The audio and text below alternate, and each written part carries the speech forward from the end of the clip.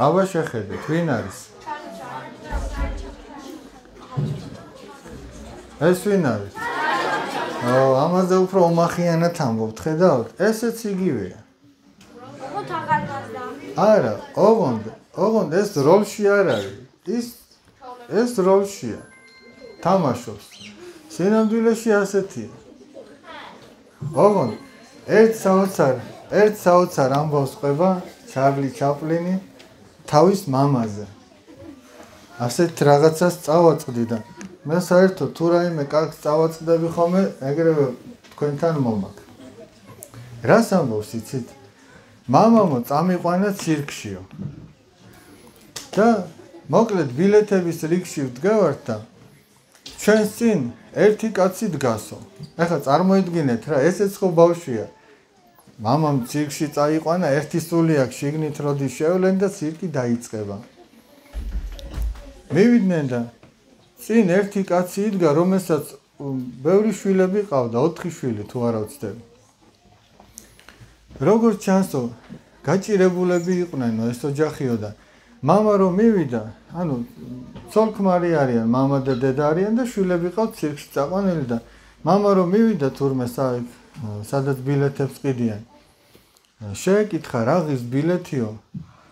რო უპასუხეს მოტრიალ და ძალიან დანაღლიანებული, თავის მეუღლეს მეუტრიალდა და რაღაცას უხსნის.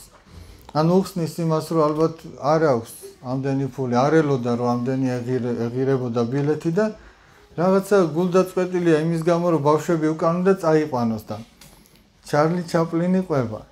მამა ჩემაო, ამოიღო 20 დოლარიო და ძის დაყარაო. მე ამ კაცო ხარზე დაარტყა ხელიო და უთხრაო რომ თქვენო ფული დაგევარდათ.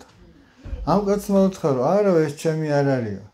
მაგრამ მამაჩემმა უთხრა არაო რადგან ჩემი არ არისო ეს თქვენი იქნებაო და აიღო და მისცადა.